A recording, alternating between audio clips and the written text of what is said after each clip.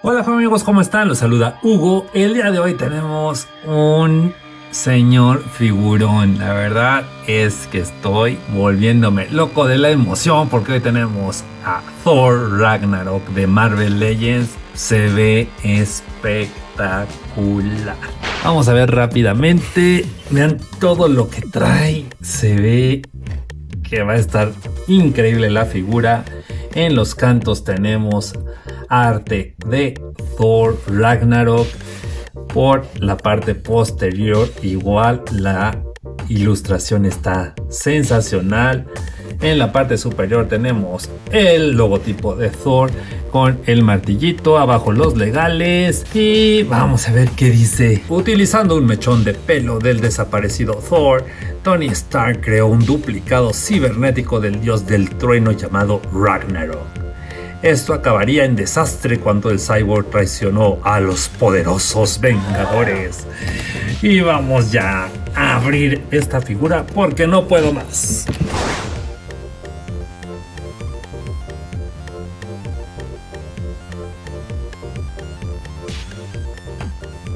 Dentro de los accesorios contamos con esta mano, contamos con el Mjolnir, que está muy padre, ahora viene pintado en la parte de la base aquí en el mango en gris. Obviamente es prácticamente el mismo que incluía el de 80 aniversario de Marvel.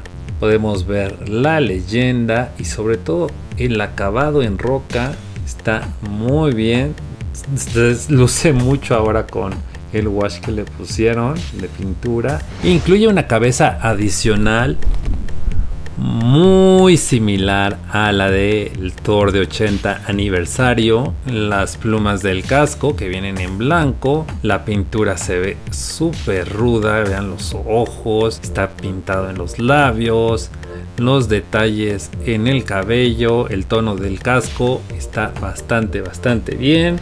Otro accesorio que incluye es este Mjolnir que está simulando el movimiento cuando Thor gira su singular martillo. Está padrísimo. Está muy, muy... ¡Wow! Está de pelos. A ver, vamos a ver si gira. Miren, lo pueden poner a girar, juego amigos. Esto está increíble. o sea, lo está genial. Está genial este Mjolnir haciendo la simulación del movimiento que en lo personal lo pudieron haber hecho desvanecer algunos de los martillos para lograr el efecto. Hace ya algunos años hay una estatua que hizo Randy Bowen que fue según yo el que empezó a hacer este efecto del martillo giratorio. El martillo está girando y unos están desvanecidos y al ser estatua pues logra darle el movimiento. Yo creo que al poner unos en translúcido hubieran quedado geniales. Y ahorita lo veremos con Thor a ver qué tal se ve. Ya tenemos fuera del empaque a Thor Ragnarok. Y vamos a ver qué tal está esta pieza. Vamos a comenzar primero por los detalles de modelado, de esculpido. Y comencemos por el rostro. Obviamente la parte que de inmediato me llama la atención es esta área, la área con daño de batalla, donde podemos ver la parte cyborg de este personaje. Está muy muy bien hecha. Me encanta el trabajo de el esculpido aquí en la mandíbula. Vean cómo llega hasta la parte posterior. Es una lástima que el cabello tape esta parte porque sí vale mucho mucho la pena. Aquí le hubieran agregado un poquito más plateado para que se vea mejor. Igual y ya algún entusiasta que lo tenga le pintará esa parte. Los ojos se ven muy muy bien. Todo lo mal encarado. Está padrísimo. Ahora vamos a compararlo con la cabeza que prácticamente igual a la de Thor de 80 aniversario y podemos ver las diferencias. Yo pensaba que sí iba a ser el mismo cabello y no, trae otro cabello, trae viene ondulado de otra manera, al igual que las alas. Las alas son distintas, estas vienen por decirlo así, de una sola pieza. Y aquí vienen fragmentadas. Tenemos esta parte de aquí y la de acá sujetas como por algún tipo de remache en el casco. El tono del casco está muy bien logrado en tono metalizado. La expresión me gusta, se ve bastante, bastante rudo. El trabajo de esculpido del cuerpo que prácticamente es idéntico al de el Thor que salió festejando los 80 años de Marvel. Pero aún así vamos a hacer la revisión del esculpido. Está muy bien hecha, por cierto. Eh, la pintura en los discos metálicos del traje está muy bien lograda. La textura del chaleco, por llamarlo de alguna manera, está muy bien. Tenemos el cinturón de Thor, muy bien pintado. Seguimos con la textura. Aquí se cambia de, de podríamos llamarlo piel. Se ve la textura aquí, como brilla. Y pasamos a la tela del pantalón, también muy bien hecha. Aquí se puede apreciar la costura.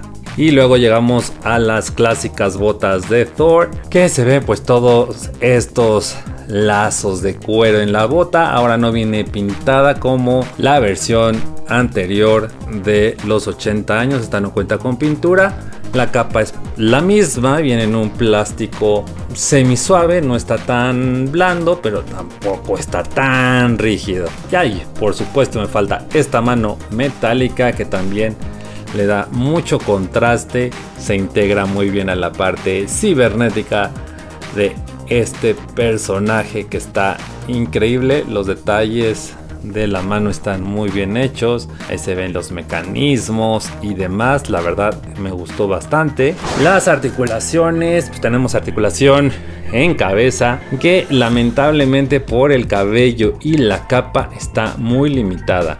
Tenemos arriba y abajo, como pueden ver, muy muy limitada por el caballo, el caballo del cabello, al igual que a la hora de girarlo, es prácticamente imposible girar la cabeza, aunque esté presente la articulación. Entonces tenemos que bajar un poco la capa, levantar el cabello, forzar el giro.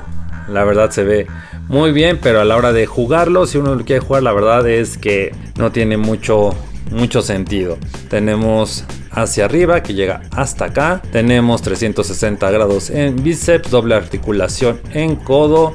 Tenemos la mano que gira 360 grados y está marcado el movimiento hacia los lados, pero está muy, muy rígido. Tenemos articulación en abdomen, la cual es prácticamente nula si la queremos hacer hacia abajo y hacia arriba, pero no si la queremos rotar. A la vez tenemos articulación en cintura, que sería ya prácticamente como doble, por decirlo así. En piernas tenemos que podemos levantarla perfectamente hasta este rango. Podemos hacer el split hasta esta altura. Articulación en la pierna la podemos girar a 360 grados. Tenemos articulación en rodilla, doble articulación. Tenemos articulación en el área de la bota, al igual que articulación en el tobillo, arriba y abajo y, y hacia los laterales. Tenemos a Thor con los accesorios ya puestos, que es el rostro natural con los ojos rojos. Se ve bastante, bastante rudo. La verdad para posarlo se ve muy, muy bien. Y ahora sí, vamos a ponerle este super accesorio que me encantó. Vamos a ver qué tal se ve. La verdad está muy pesado para la figura. Como pueden ver, de, inmediato se vence. Híjole. El martillo sí está muy pesado para el tipo de articulación que tiene. Le deberían de haber puesto una mano adicional ya sujetando el martillo. Está bastante pesado para la figura. Yo creo que si se deja bastante tiempo se puede inclusive hasta deformar el brazo, no sé, con el calor. Y esto nos da pauta para pasar a lo bueno, lo malo de esta figura. Es el diseño del martillo. Está muy muy padre, me gustó que Hasbro se diera la oportunidad de experimentar. Siento que lo pueden haber hecho mejor cuando está la figura estática y en pose. Y obviamente también el, que traiga dos rostros está genial. Me gustó mucho el esculpido. Este, con daño de batalla está muy muy padre. El accesorio de la mano también está genial. El accesorio del Mjolnir está muy muy pesado. Incluso en este momento creo que se está yendo para atrás la pieza. Incluso a la hora de ponerlo con la, la mano que está incluida se bota es muy difícil posarlo. Siento que no lo diseñaron bien. Debería de haber tenido una mano adicional exclusiva para poderla poner en una pose como si estuviera girando el martillo por encima de su cabeza. El trabajo de pintura se queda corto comparado con eh, su similar del 80 aniversario. Eh, ah, y otro, otro detalle, la articulación de la cabeza está muy muy limitada. ¡Ah! La verdad sí lo esperaba mucho. Eh, le doy un, un 8 y medio, la verdad. 8.5 se lleva esta pieza. Ya pongan los comentarios, ya lo tienen ustedes, les costó trabajo posarlo. ¿Qué opinan del martillo que está girando? Pónganos sus comentarios, la verdad los leo todos. Suscríbanse a Juegos, Juguetes y Coleccionables. Soy Hugo y nos vemos en el próximo review. Bye